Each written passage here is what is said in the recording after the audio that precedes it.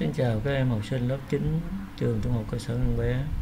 Hôm nay chúng ta tiếp tục bài 5 tiết chính thực hành nối dây dẫn điện tiếp theo.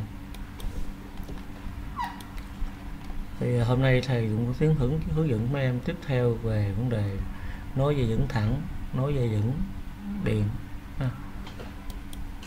Thì chúng ta cũng vẫn thực hiện bước một đó là bóc vỏ tiếp điện nối thẳng hai dây dẫn điện thì chúng ta cũng làm như ờ, tuần vừa rồi chúng ta cũng dùng kèm tuốt dây chúng ta à, tuốt dây ha, và cũng đặt vào lỗ số 3 đặt vào lỗ số 3 chúng ta xem tuốt dây.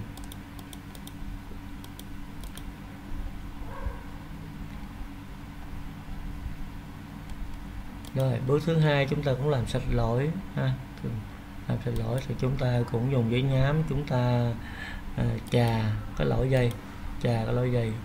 Và khi chà chúng ta xoay lõi dây cho nó sạch. À, đối với lỗi dây nhiều sợi thì cũng làm tương tự như bài trước đó là lỗi dây đơn nha. Rồi bây giờ chúng ta đi vào nối thẳng hai dây đơn lỗi nhiều sợi. Ha. lỗi đơn là hai dây đơn lỗi nhiều sợi. Hôm trước chúng ta giới thiệu là hai dây đơn lỗi một sợi. Thì hôm nay chúng ta giới thiệu hai dây đơn lỗi nhiều sợi thì đầu tiên chúng ta cũng đã nấu bước một bước hai rồi. Chúng ta cũng bóc vỏ cái điện thì hai cái dây đơn này chưa bóc vỏ. Thì giờ chúng ta bóc vỏ ra. À, bóc vỏ cái điện ra. Rồi sau đó thì chúng ta à, tách à, tách các sợi các sợi của dây dẫn ra thành hình nan quạt đây. À, tách các sợi dây dẫn dây điện ra dây đồng ra thành hình nan quạt đây, hai dây thành nan như thế này rồi sau đó thì chúng ta uh, đặt hai dây đối đầu nhau. Hai dây đối đầu nhau. Rồi sau đó chúng ta đan chéo các sợi lại đan chéo các sợi dây lại thành với nhau. Tiếp tục chúng ta thực hiện à, quấn lại quấn. À, bóp kèm dùng kèm kẹp vào và chúng ta quấn. Lỗi dây này quấn theo chiều kim đồng hồ. Thì lỗi dây kia quấn chiều ngược lại theo ngược chiều kim đồng hồ chúng ta làm. Và sau khi quấn chúng ta được các vòng quay đồng quấn quanh như thế này. À, chúng ta xem lại.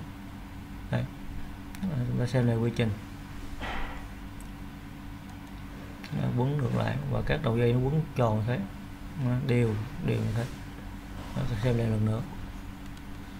À, đó là nối thẳng hai dây lỗi nhiều sợi.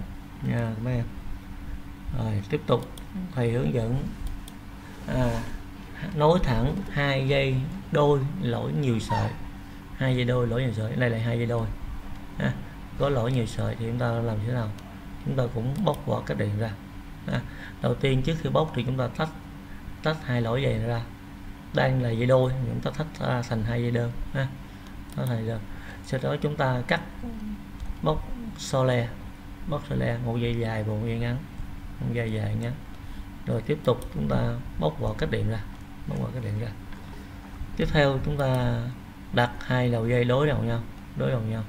À, dây dài nối với dây ngắn của dây kia và ngược lại. Dây ngắn của dây này nối vào dây dài dây kia. Rồi đang xéo hai đầu dây lại với nhau. Đang xéo hai đầu dây lại với nhau. Sau đó chúng ta quấn y chang như lỗi dây đơn nhiều sợi. À, quấn y chang như lỗi dây đơn nhiều sợi là quấn từ bên trái qua bên phải và ngược lại từ bên phải qua bên trái. À, sau khi chúng ta quấn ở đây chúng ta quan sát là lỗi dây đơn quấn. Thì là chúng ta tách từng lỗ ra chúng ta thấy. Rồi sau khi quấn xong thì chúng ta ra hình thành ra mối nối như thế này. À, hình thành hai mối nối như này.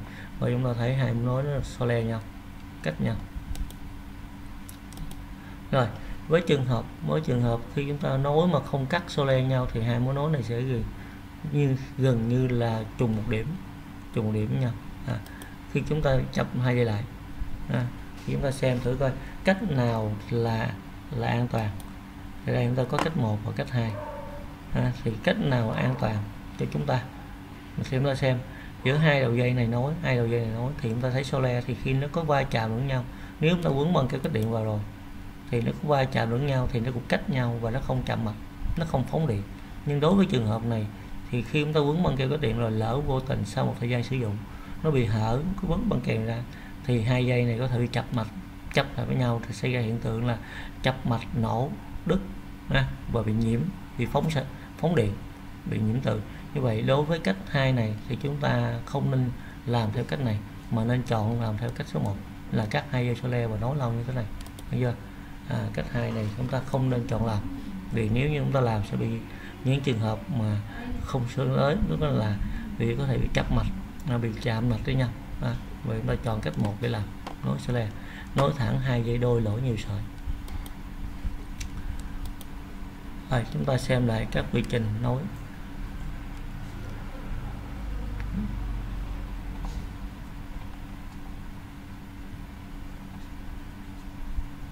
Hai dây sole nối lại với nhau à, chúng ta nối từng từng lỗi y chang lỗi đơn nhiều sợi.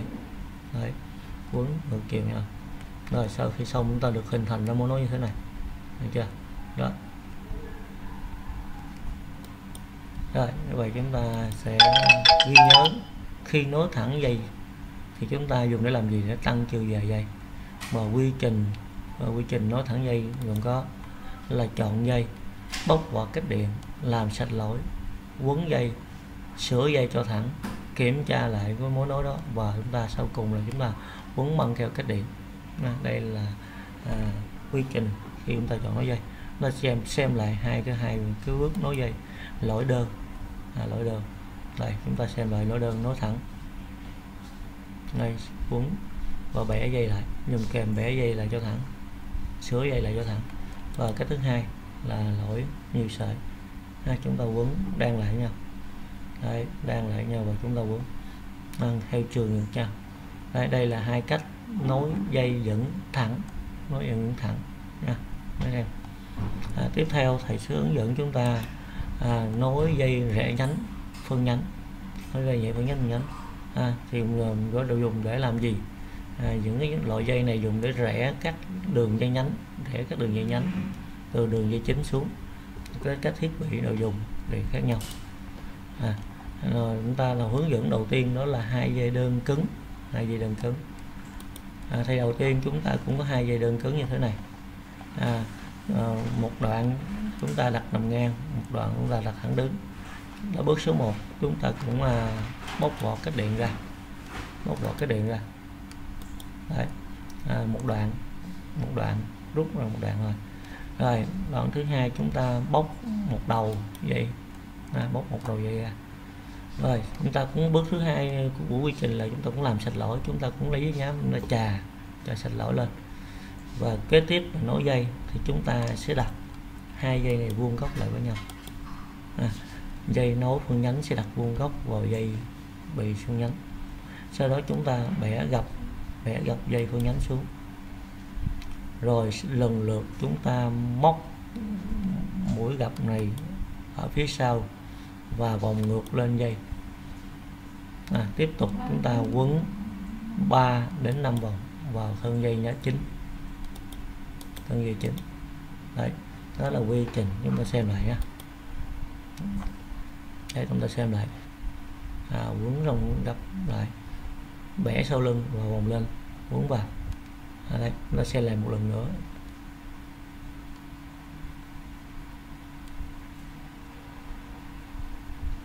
Rồi đây à, tiết học hôm nay à, thầy hướng dẫn chúng ta đó là, là nối thẳng dây nhiều sợi và nối phân nhánh dây lỗi đơn lỗi đơn một sợi. À, vậy tiết học tiếp theo là tiết 10 của bài năm chúng ta sẽ hướng dẫn tiếp hai loại mối nối còn lại đó là lối phân nhánh nhiều sợi lỗi dây nhiều sợi và nối dùng phụ kiện.